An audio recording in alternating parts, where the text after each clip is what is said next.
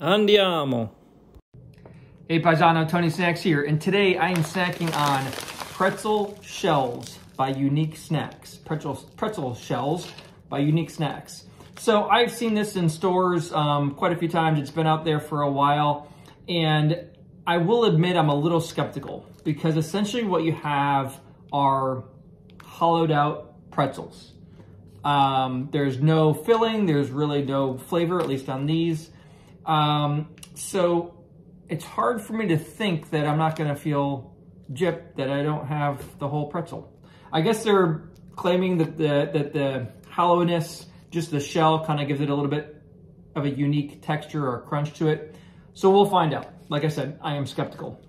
I did pick this up at a Meijer for $3.79. It is a 10 ounce bag of pretzel sticks, hollowed pretzel sticks. I will put the nutritional information up at the end of the video. Andiamo.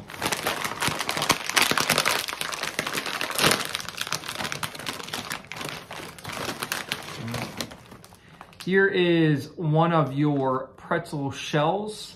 Um, yeah, it is very light. Here we go.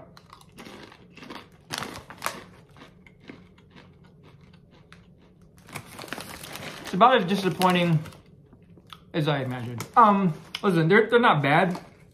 They're pretzels. They do have a little bit of a unique crunch texture to them because they're hollow, but where's the rest of my pretzel?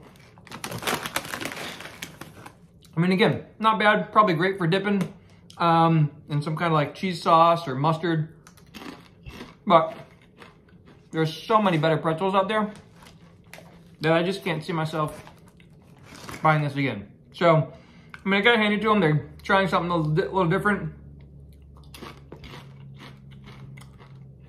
But just not super appealing to me. Anyway, this has been my very quick review of Unique Snacks pretzel shells.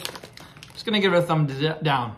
Not, not that they're bad tasting, but just because I don't get it and there's better pretzels out there. So anyway, Paisano, I do hope you are snacking on something good.